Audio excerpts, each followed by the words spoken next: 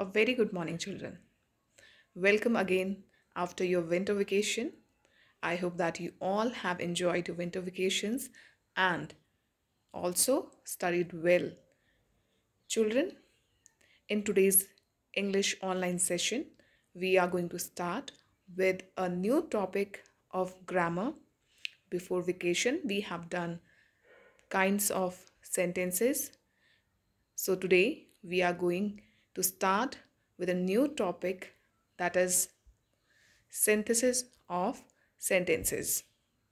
So, first of all, let us discuss what is synthesis of sentences.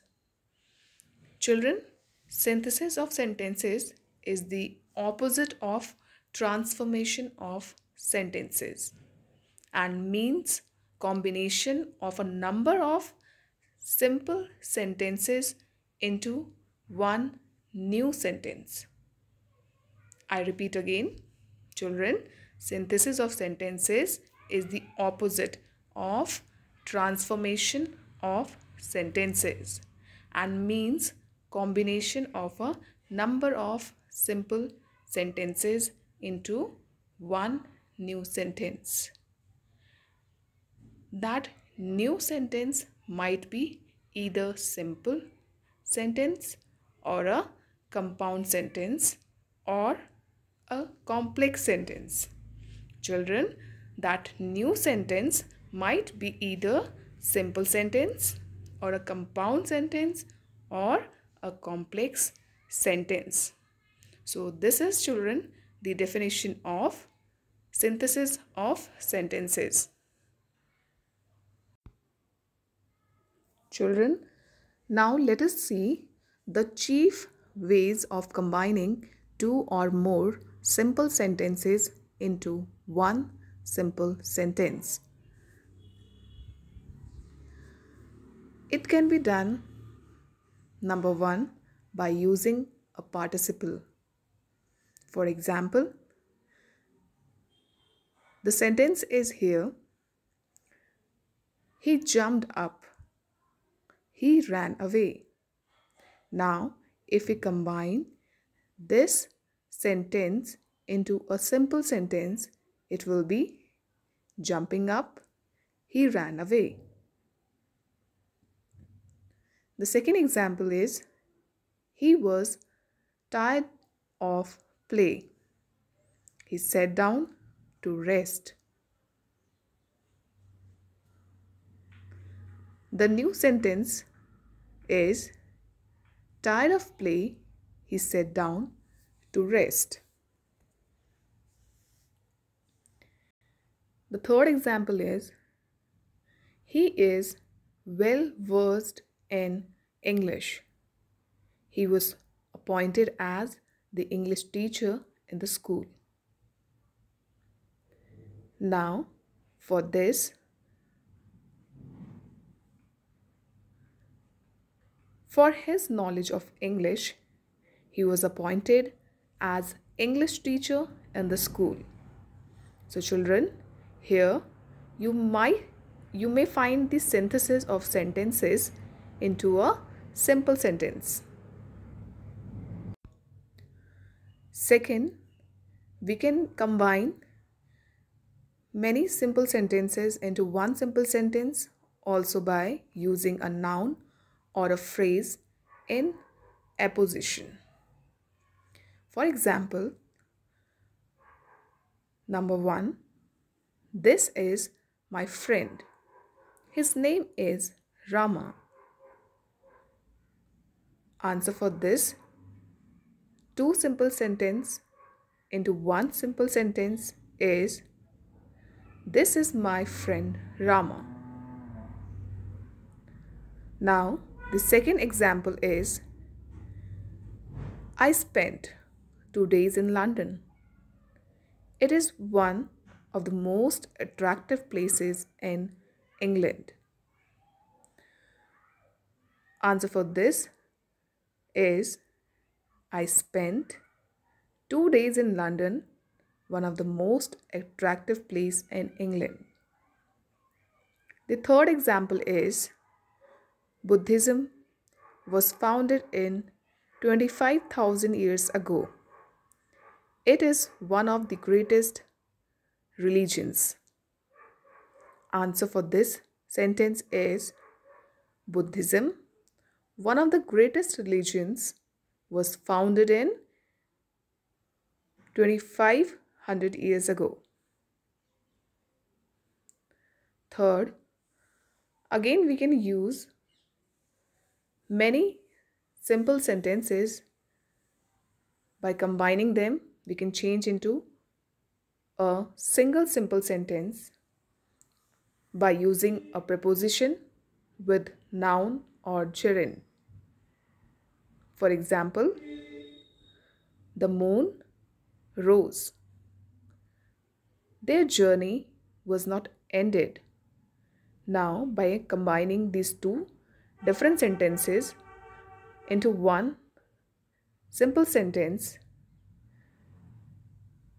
the answer for this these two simple sentences will be before.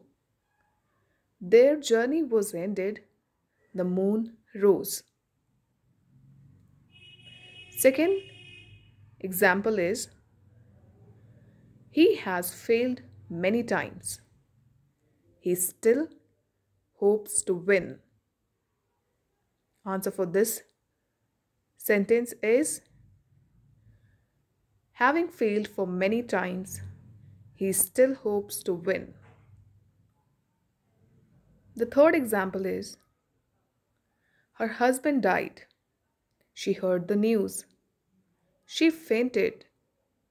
So, children, now here in this example, there are three different simple sentences. Now, we will combine these, uh, these three sentences, simple sentences, into one simple sentence. On hearing the news of the death of her husband, she fainted. Now, number four is by using nominative absolute construction. How we will do this? The first example is here. The soldier arrived. The mob dispersed. Answer for these two simple sentences into one simple sentence is the soldiers having arrived, the mob dispersed. Second example is the town was enclosed by strong wall. The enemy was unable to capture it. Now answer for these two sentences are the town having been enclosed by strong wall the enemy was unable to capture it. Number 5.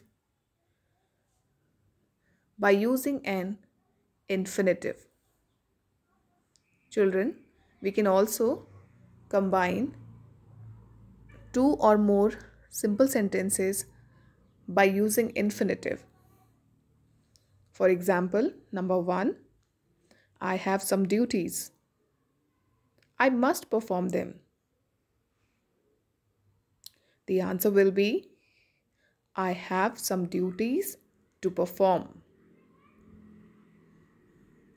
Second example is we must finish this exercise. There are still three sentences. The answer is we have still three sentences in this exercise to finish. The third example is he wanted to educate his son. He sent him to London. Answer for the third example is he sent his son to London to educate him. Number four, is he is very fat. He cannot run. Answer for the fourth example is he is very fat to run. So this is how we can combine many simple sentences by combining them or by using an infinitive so that we can make them one simple sentence. Now, the sixth one is by using an adverb or an adverbial phrase, we can again combine many simple sentences into one simple sentence. For example, number one, he deserved to succeed. He failed. Answer for this, these two sentences is he failed undeservedly. The second example is the sun set. The boys had not finished the game.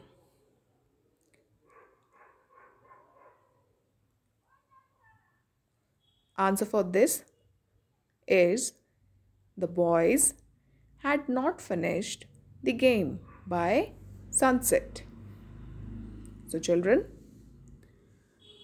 these were the different ways by which we can change many, we can combine many simple sentences into one simple sentence that is by using an adverb or an adverbial phrase. By using an infinitive also we can do that. By using nominative absolute construction also we can do that. By using a preposition with noun or gerund. Or by using a noun or a phrase in apposition. Or by using a participle. We can change many simple sentences into a simple sentence, one simple sentence, complex sentence or a compound sentence. So children, this was the synthesis of sentences that we have learned today. I hope that you all have understood it. Thank you and have a nice day.